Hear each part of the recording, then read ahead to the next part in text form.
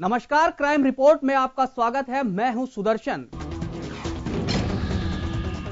Crime report में सबसे पहले बात, हैदराबाद में हवस की भूख में अंधी एक पत्नी की, जिसने ऐसी खौफनाक वारदात को अंजाम दिया, जिसे सुनकर आपका दिमाग भी सन्न रह जाएगा। उस हत्यारन ने पहले तो प्रेमी के साथ मिलकर पति की हत्या की, उसके बाद शव को जंगल में जाकर जलाया उसके बाद प्लास्टिक सर्जरी की मदद से प्रेमी को पति की सूरत देकर वो घर ले आई और साथ रहने लगी। लेकिन माँ को अपने नकली बेटे की हरकतों पर जब शक हुआ तो सामने आई वो दिल दहला देने वाली वारदात, जिसे सुनकर हर कोई स्तब्ध है। आइए आपको भी दिखाते हैं तेलंगाना के नगर कुरनूल ज़िले में तेलुगु फ़िल्म येवाडू स्टाइल में हुई इस मर्डर मिस्ट्री की दास्ता। हवस की भूखी पत्नी की खौफनाक वारदात। पति की हत्या कर जंगल में शव को जलाया। प्रेमी की प्लास्टिक सर्जरी कर दी पति की सूरत। तेलंगाना के नगर कुरनूल ज़िले की घटना। आपने बेवफा पत्नियों के ऐसे कई किस्से कहानियाँ सुने होंगे। जिनमें प्रेमी को पाने की चाहत में पत्नियों ने एक से बढ़कर एक गहरी साजिशें रच डाली। लेकिन तेलंगाना में हवस की भूखी उस पत्नी ने वो कर डाला, जिसे सुनकर आपका दिमाग सन्न रह जाएगा।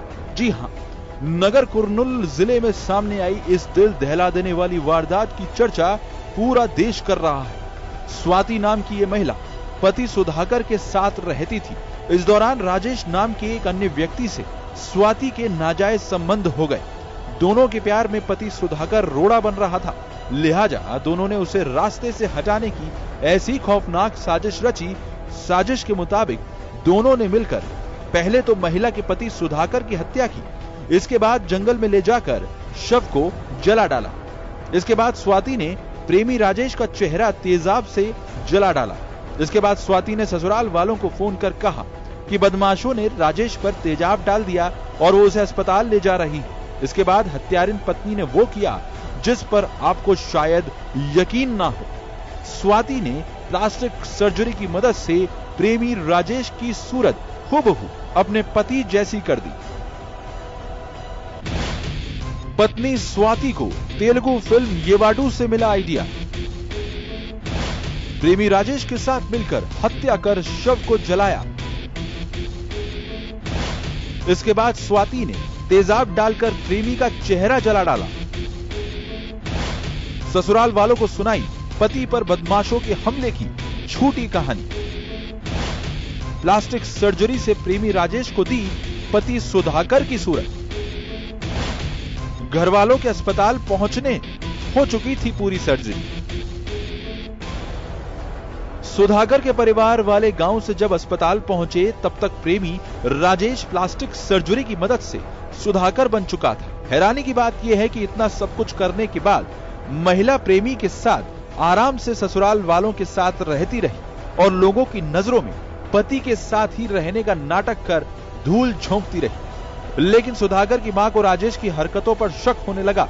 माँ ने सुधाकर बने प्रेमी राजेश से कई ऐसे सवाल पूछे, जिसके जवाब वो नहीं दे पाया। ऐसे में माँ का शक और गहरा गया। उसने परिवार वालों को ये बात बताई, जिसके बाद पुलिस की मदद ली गई। पुलिस ने आधार कार्ड में दर्ज सुधाकर के फिंगरप्रिंट से जब राजेश के फिंगरप्रिंट मैच कराए तो पुलिस का शक और गहरा हो गया। जिसके बाद दोनों से सख्ती से पूछताछ करने पर हत्या का खुलासा हुआ।